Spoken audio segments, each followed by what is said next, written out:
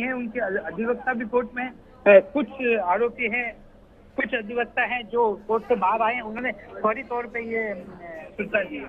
जी शेरदुन जानना चाहेंगे सरकारी वकील की तरफ़ से कोई वक्तव्य अभी तक सामने आया है? जी अभी तक कुछ सरकारी अधिवक्ता का वक्तव्य नहीं आया जी इस सजा सुनाए जाने के बाद शेरदुन अब अगला कदम क्या होगा सलमान खान की ओर से उनके वकील की ओर से?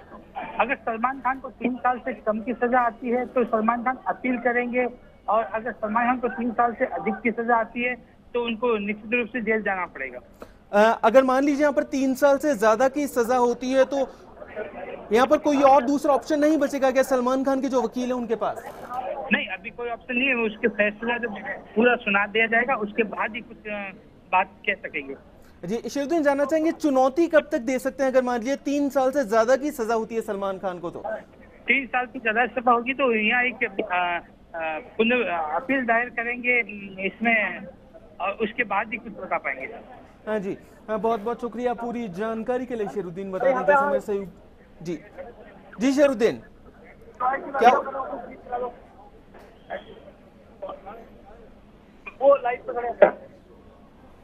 बता दें, शेरुद्दीन बने हुए हमारे साथ।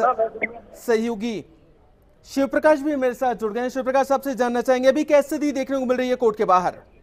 जी अरविंद जब जब से कोर्ट ने ये फैसला पकड़ लो आठ से नौ लाइव पे कोर्ट ने ये फैसला सुनाया है कि सलमान खान इस मामले में दोषी है। बाकी जो सभी आरोपी हैं सेब प्रभु, नीलम और सोनाली।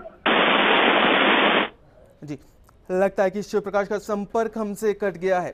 शेरदीन, एक बार फिर से आपसे जुड़ना चाहेंगे? आपसे जानना चाहेंगे, क्या कोई कोर्ट से बाहर आया अभी तक? सलमान खान के वकील या फिर सरकारी वकील?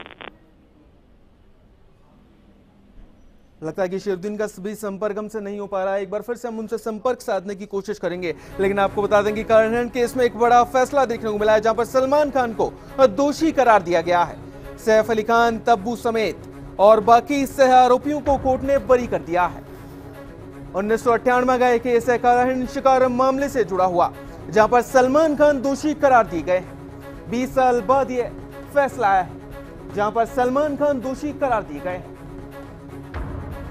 काला हिरण केस में जोधपुर सीजेएम कोर्ट का फैसला देखने को मिला, जहाँ पर सलमान खान दोषी करार दिए गए हैं।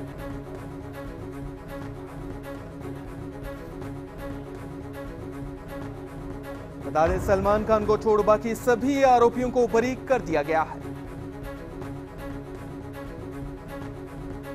बता दें, अभी इस समय कोर्ट में सलमान खान की सजा पर बहस हो रही है।